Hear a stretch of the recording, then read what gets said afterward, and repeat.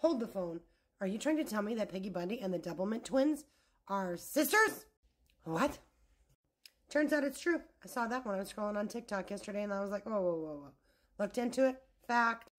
Also turns out their ethnicity. Papa's side was Ashkenazi Jew. Mama's side was German, French, English, Scottish, a bit of Swiss German. It'd be funny if I were related to Peggy Bundy. Oh my god, that'd be weird.